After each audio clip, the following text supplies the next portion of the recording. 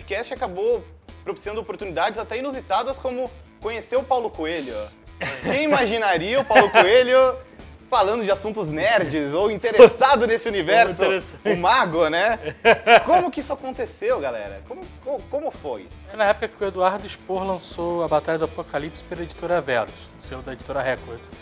É, ele lançou o livro, na verdade o livro foi lançado primeiramente pela, pelo Jovem Nerd, pelo selo Nerd, Books, é, e depois que ele vendeu mais de 5 mil cópias, a editora descobriu ele.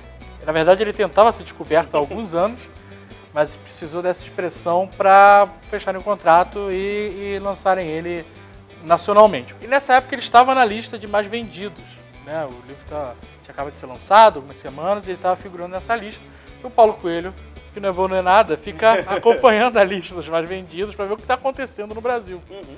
É, e ele tinha essa intenção de renovar o público dele, né? de, de trazer pessoas mais novas para conhecer ele, o trabalho dele nunca escondeu isso nem nada. E ele conseguiu entrar em contato com o Eduardo, conheceu o Eduardo e falou: Olha, eu queria dar uma entrevista pro, pro Jovem Nerd. Então, na verdade, ele, ele conta isso, inclusive. Ele pediu para ser entrevistado por nós. Que louco, né? É. E a gente, caraca, Paulo Coelho, né, cara? E aí, né? E, a, se você pensar né, em primeira mão, não tem muito a ver com o que a gente fazia, universo é. nerd, cultura pop. Mas a gente nessa época já tinha meio que soltado essas amarras de só falar de coisas nerds. E a gente, a gente ia ficar, acabar ficando limitado. Uhum. E a gente passou a, a, a, O nosso mindset era: a gente fala sobre qualquer coisa pela ótica nerd, pela Entendi. nossa ótica. E a gente falou: puta, é uma, é uma oportunidade do caramba, né? Entrevistar o Paulo Coelho, um dos maiores escritores do mundo. A gente sabia da, de todo o preconceito que, que ele tem, que ele tinha.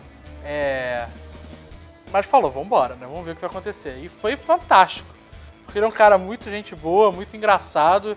E, e não foi uma entrevista, foi um papo, foi uhum. como a gente gostaria que fosse. E, e boa parte do público acabou derrubando preconceitos que tinha com ele por não conhecê-lo, sabe?